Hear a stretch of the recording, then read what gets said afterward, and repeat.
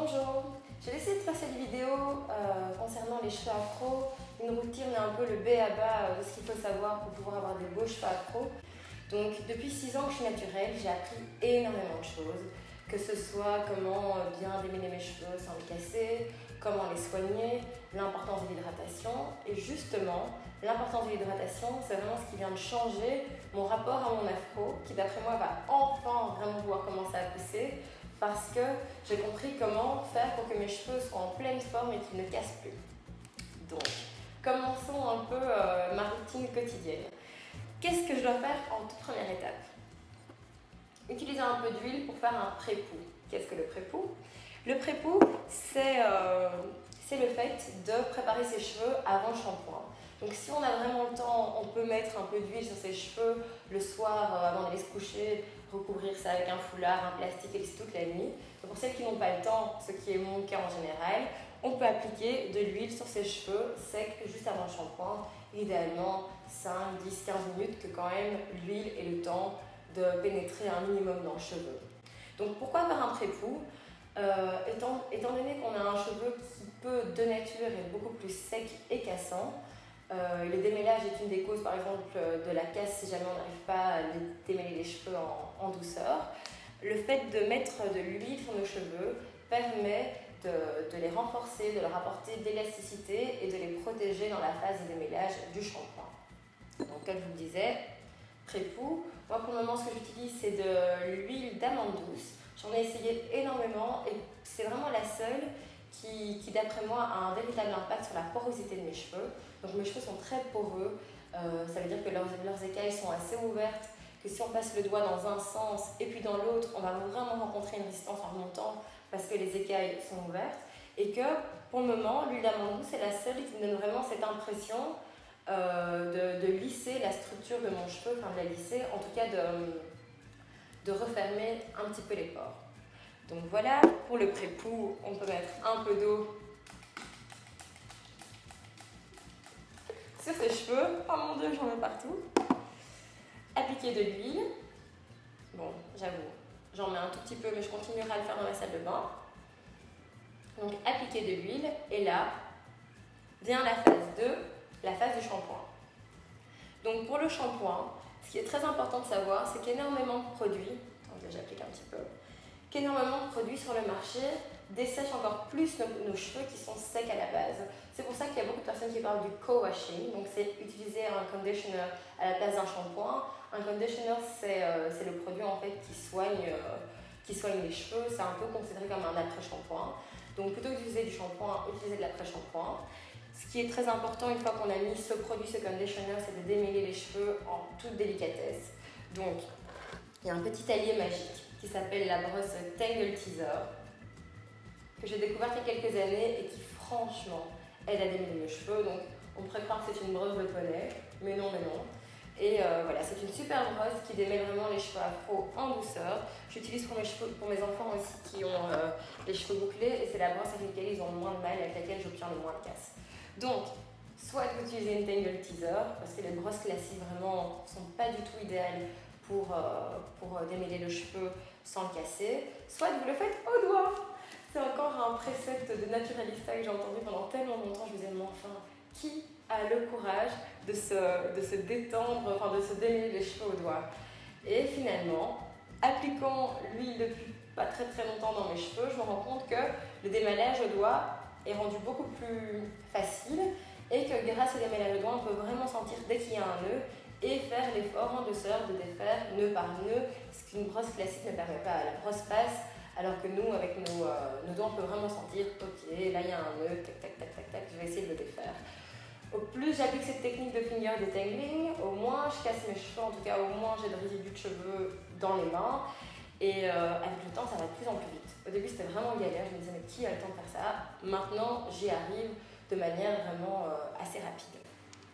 Donc une fois que le cheveu a été euh, démêlé, qu'on a utilisé le co-washing, le co-washer, co-washing, euh, qu'on a utilisé le produit en tout cas pour, euh, pour laver les cheveux, on va vraiment passer sur un masque capillaire. Donc pour le moment, ce que j'utilise, c'est le 10 in 1 Renewal System Hair Mask de Shea Moisture Donc, dans la communauté de Naturalista, j'en ai. Communauté de Naturalista. Dans la communauté des naturels, j'ai énormément entendu parler de ce produit et je l'ai enfin testé c'est vrai que je trouve qu'il euh, gorge vraiment mon cheveu de soins et d'hydratation. Il y en a plein d'autres, comme par exemple la marque Cantou, j'apprécie énormément parce que la marque Cantou est quand même moins chère, on la trouve plus facilement dans des magasins euh, qui vendent des produits euh, pour, pour cheveux afro. Et donc voilà, s'il y a deux air masks donc, que je devrais suggérer, c'est soit ceux de la marque Shea Moisture, que j'apprécie énormément et qui sont vraiment composés de produits naturels, ou alors les, euh, ou alors les, masques de la marque Cantou. Ensuite, un petit truc que ma soeur m'a donné et que je trouve génialissime. Donc on nous conseille de mettre des beurres, des huiles, mais souvent la texture, surtout dans des pays où il, font, où il fait froid, moi personnellement j'habite en Belgique, euh, c'est un bloc et comment faire pour ramollir ce bloc à moins de descendre, mettre le produit dans un bain-marie, blablabla. Enfin bon, c'est quelque chose qui me cassait vraiment la tête. J'ai trouvé le moyen maintenant d'appliquer par exemple l'huile de coco qui a une structure quand même assez solide, d'appliquer l'huile de coco de manière très facile. Alors qu'est-ce que je fais? Qu'est-ce que je fais? Juste après avoir utilisé mon masque, mon masque et mon living conditioner, mais bon ça je vous explique juste après, je vais vraiment appliquer mon huile de coco sur mes cheveux dans le bain tant que ma chevelure est encore chaude. Le fait que ma chevelure soit encore chaude fait que le produit va fondre beaucoup plus vite dans mes cheveux. Le fait que je sois dans le bain va faire que je ne vais pas me sentir euh, dégueu d'avoir de l'huile partout. Et donc vraiment, c'est un truc que ma soeur applique, que j'applique depuis pas très longtemps. Et merci Eleonore. Donc, après avoir fait le masque, ce qui est très important, c'est de mettre un conditioner qui va faire tout le bout de chemin avec vous pendant votre semaine.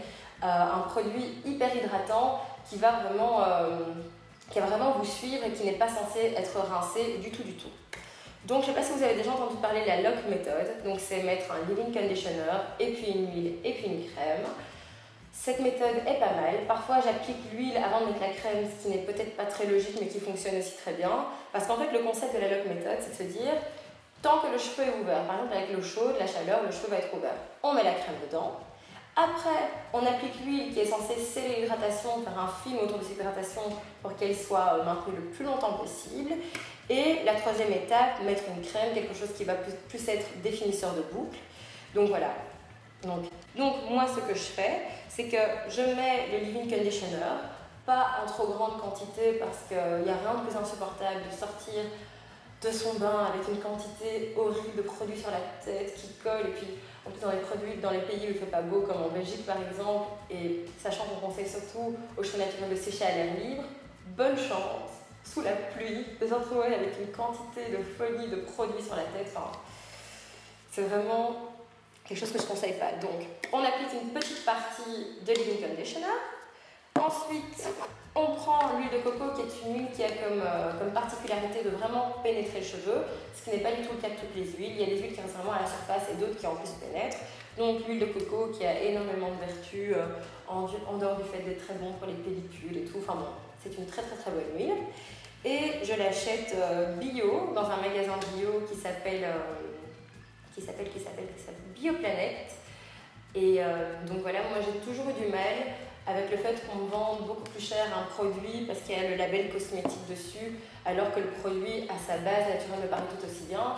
C'est quelque chose pour laquelle, enfin, c'est une réflexion que je me suis faite souvent pour l'huile d'argan, que si on achète la petite fiole cosmétique, on va être à des sommes astronomiques, alors que quand on achète une huile d'argan qui vient d'être euh, pressée, qui est 100% naturelle, qui peut aussi servir pour la cuisine, et qui, d'après mon expérience, fonctionne aussi bien, ben voilà, on a un beaucoup plus grand rapport qualité-prix, et c'est sans chichi.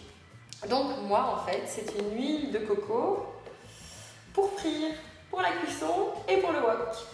Mais pour cet énorme contenant, donc j'ai un litre d'huile de coco, je crois que j'ai payé moins de 10 euros, 7 euros dans ce magasin bio. Et voilà, j'aime bien utiliser ce produit, je trouve qu'il pénètre très très bien dans mes cheveux, tout aussi bien qu'un qui aurait le label cosmétique.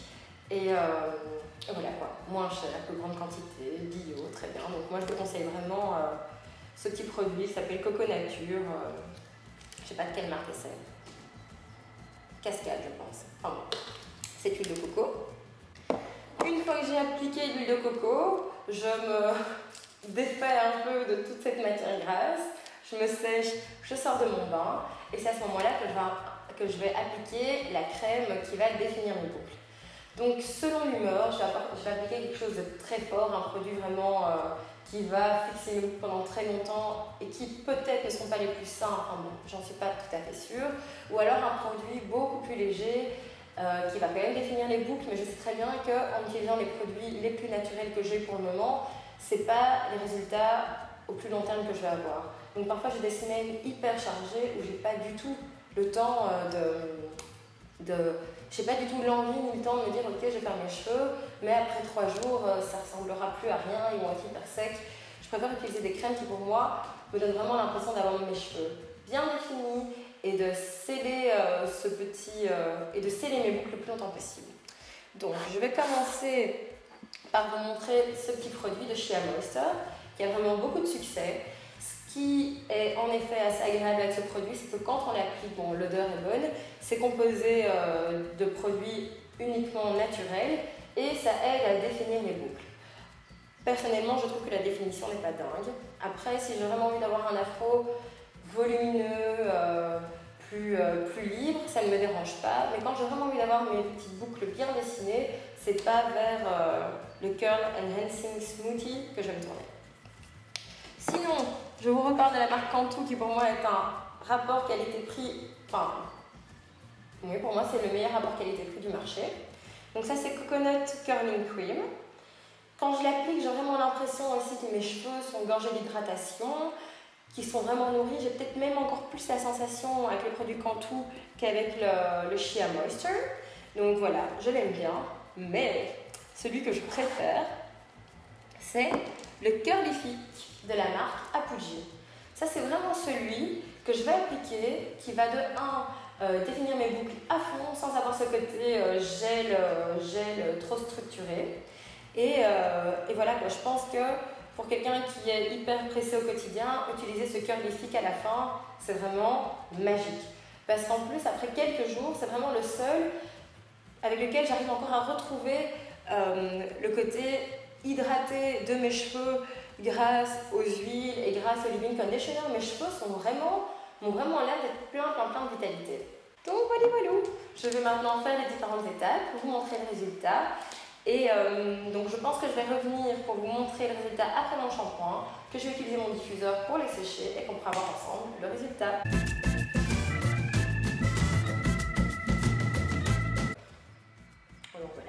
Important quand on sèche les cheveux, vraiment, c'est de pas trop chipoter, casser les boucles.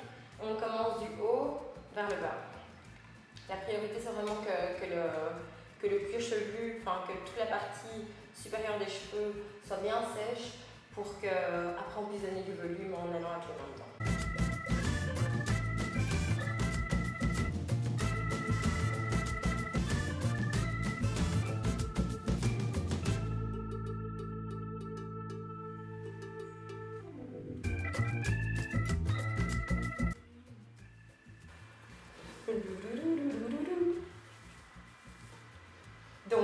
voilà le résultat de mes cheveux après avoir été partiellement séchés. Donc je les ai pendant plus ou moins 10 minutes et maintenant étant donné qu'il fait beau, je vais laisser euh, sécher au soleil. Donc j'espère vraiment que cette vidéo vous aura plu, qu'elle vous aura renseigné. On ne peut pas tout dire en, un si court euh, laps de temps, donc n'hésitez pas à laisser des commentaires s'il y a des euh, questions que vous vous posez. Et surtout, ça me ferait très plaisir de vous offrir ce masque que j'ai utilisé avant de faire mon shampoing. Donc en 6 ans, c'est vraiment le meilleur masque que j'ai pu tester et qui vraiment a apporté une différence significative euh, à la texture de mes cheveux qui, qui conserve vraiment l'hydratation beaucoup plus longtemps. Donc pour gagner ce super petit produit, donc c'est Superfood Complex 10 in 1 Renewal, Renewal System de Shea Moisture. N'hésitez pas à partager cette vidéo, taguer trois amis à vous qui sont naturels ou alors euh, des enfants métis que vous connaissez dont les parents ne savent pas gérer leurs cheveux, peu importe. Et euh, n'hésitez pas aussi à partager une photo de cette vidéo avec euh, comme hashtag Rosen et en taguant trois amis à vous. Je vous souhaite une très très très très bonne journée. À bientôt